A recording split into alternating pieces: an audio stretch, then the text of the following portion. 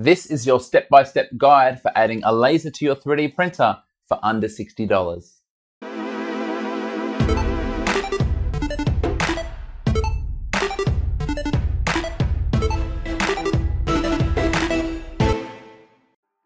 So you've saved up your pennies for a 3D printer and you're really enjoying it, but you also want to be able to engrave with a laser.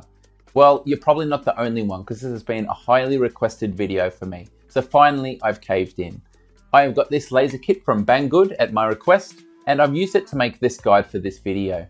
After we get over the hurdle of the initial wiring, this is very plug and play, very fast to set up, and the software is free and doesn't even need installation. Let's have a closer look. Here's our laser add-on module. As you can see, it's a little bit over $50 and that's without any flash sales. When we unbox it, everything's there, but there's one variation. When we head back to the store page, we can see that this box is missing. It must just be a stock photo because it works perfectly fine without it. Obligatory safety warning, the glasses are there for a reason, please wear them at all times. Now this laser works from PWM or pulse width modulation. Let's have a look at how that works. On a 24 volt system like the Ender 3 or Ender 5, let's imagine that we turned on full 24 volts and then a split second later turned it off again. We turned it on, then off, then on, then off. And with this repetition, we notice that the time on matches the time off, and this is 50% duty cycle for PWM. 3D printers use this for part cooling fans, 10% duty cycle equating to 10% power, 50% is 50%, and so forth. Back on our Arduino page, we'll see that if it's on for longer than it's off, it'll have a higher percentage duty cycle, all the way up to 100%. There is G-code built into Marlin to control the fan and this duty cycle, and it's M106S and then a number between 0 and 255.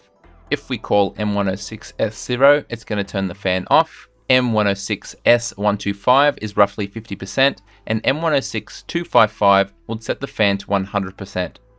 This laser module is designed to plug in instead of the fan, and therefore the G-code M106 will control the intensity of the laser in exactly the same way. We can see in this clip that the laser remains on the whole time, but in the parts where it's not drawing, it just has a really low duty cycle, and then it's turned back on and off as it's necessary to mark the patterns on the timber. So that's the theory covered on how this thing is going to work. So what's actually involved in wiring it up? This kit is designed for a CR10 which is 12 volts and in that case you simply unplug your part cooling fan and plug this in in its place. Now the plug on an Ender 3 or 5 is exactly the same but the board is 24 volts and therefore not compatible.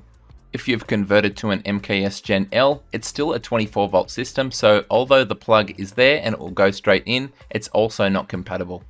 Our answer is to spend a couple more dollars on a buck converter which when wired the right way will let us step down the 24 volt signal to 12 volts for the laser. You might think it's just a matter of going 24 volts in and 12 volts out, but in this configuration it doesn't work. And that's because of these smoothing capacitors. I found that when I ran an M106S1, it was still hitting somewhere around 11 to 12 volts. Therefore, this method is ineffective. Here's what we need to do, and it looks more complicated, but it's really not too bad at all. We're going to work through this diagram bit by bit so it all makes sense for you. When you've got the cover off your printer, be aware that there is mains wiring going into your power supply, and yes, this can kill you. Unplug the power from the wall, and don't touch these wires anyway. Our first connection is 24 volts with a positive and negative from the power supply into the inputs of the buck converter. On the output side of the buck converter, we're only going to attach the red positive wire we're going to take our negative from the part cooling fan wiring instead. You can see here that I've fed this part of the loom through the case and now I have it externally available. Our output plug attaches directly to the laser add-on module. The Ender 5 is super convenient because outside of the case, it has a connector for the part cooling fan with blue and gold wires. For this printer, we simply unplug the part cooling fan and instead plug in our negative wire that's now going to the laser module. For other printers that don't have the convenience of a plug for the part cooling fan, we can make up a small extension loom. If you have some old mainboards or other electronics, with a set of pliers you'll probably find the female plug that you need. If you've got a busted old PC fan, you'll probably find you have the male plug that you need. cut it to length, strip the wires and put some heat shrink over the top to cover our new connection later on. Now we're ready to do a tiny bit of soldering. Heat and then add solder to tin the wiring of your new loom. It's going to be attached to a 2 pin header, so tin both of those as well. Now we simply solder the end of our loom onto the header and once we've done that, we slide down our heat shrink, apply some heat and everything will be sealed up. Now we'll use some pliers to pull off the little plastic spaces for our header pins, temporarily put our two plugs together to orient them, and now feed in from behind the two pins to complete our loom.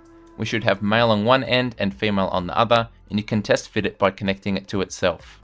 My Ender 3 with its MKS Gen L conversion has a very hard to reach plug for the cooling fan. With an extension cable I can unplug the original, plug in my extension in its place, and then feed it out the back where I can access it easily to change between the laser and the part cooling fan. This fan gets a blip of full power when the printer is turned on, so for safety reasons I would strongly recommend unplugging the laser before you power up the printer. For this initial calibration, you need to be connected to software that gives you control over the part cooling fan. You're going to start by turning it the whole way up. You can now use a multimeter on the buck converter and turn the adjustment screw until you get it to around 12.5 volts. As you can see, this gives a usable range from around 8 or 9 volts all the way up to the full 12.5 volts when the fan is turned on the whole way.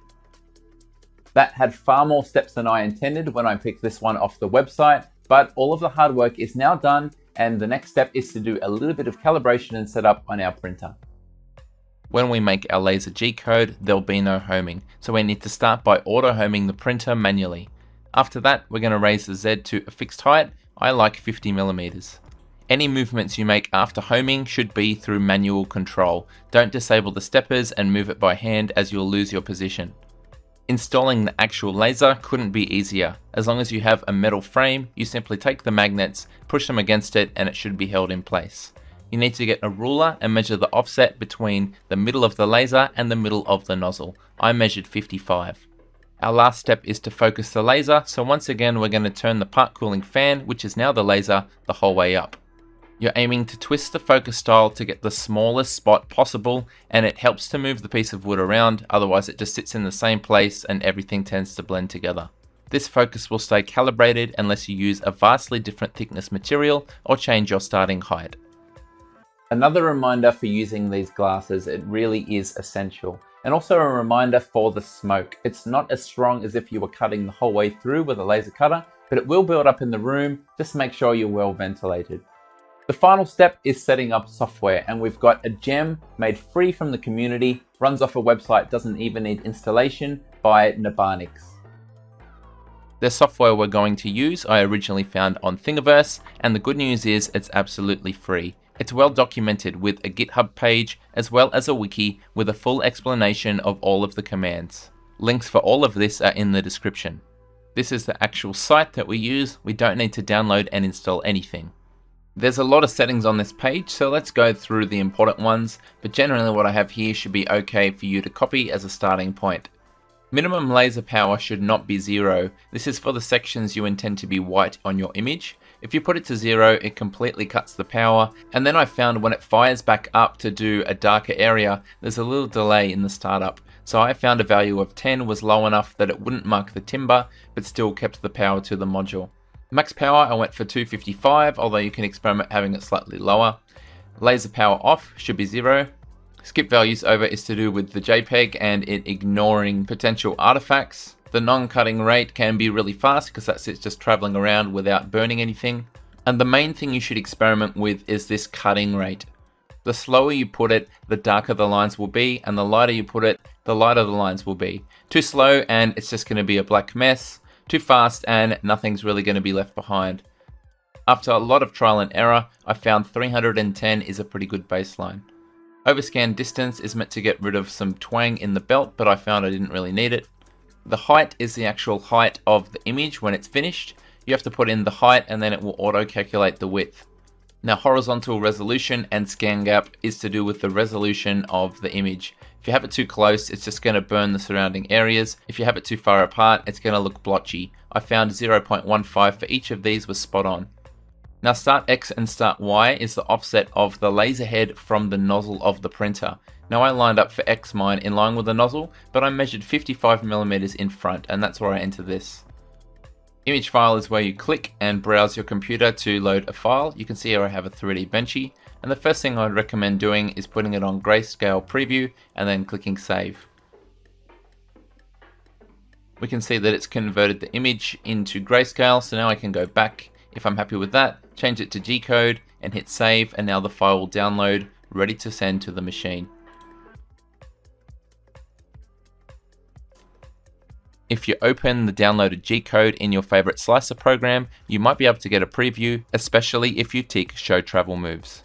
It might look like it's misaligned, but remember the laser sits 55mm forward of where the nozzle is, so it will actually be in the corner where you would expect. Also note that the image has been mirrored. This is especially important if you're engraving onto something special. We've done all the hard work, we've got our file processed and ready for engraving, so let's get started. If you run the job tethered to a computer over USB, you should see your part cooling fan dial go up and down, indicating the PWM being sent to the laser. If you run the G-code off the SD card, you'll see that the graphic on the LCD will also go up and down to reflect this. In any case, it's going to go horizontally from side to side, and as we saw at the beginning, the laser remains on even in the portions that aren't burnt because the laser is being run in those parts with a lower PWM duty cycle. Through the camera, we can safely see that the intensity of the laser is modulated to etch the desired pattern. To make this guide, I've had a fair bit of trial and error and I've put quite a few hours on this laser so far. So let me run you through my results. My first one was this big one here. I can't even remember what it was meant to be because it clearly didn't work. It was just a big splotch. After that, I started doing my little teaching tech logos and I was trying to cut corners with the settings and it just wasn't working out. I believe I had the resolution too fine and I was turning off the laser in between passes, hence the delay on the left hand side and a gap in the artwork. Finally, I put in the time to get the settings right, and that was the first time that my image on the timber matched what I had on the computer. From this point onwards, it was just a matter of tuning that speed to control how long the laser was in one spot and how dark it would be.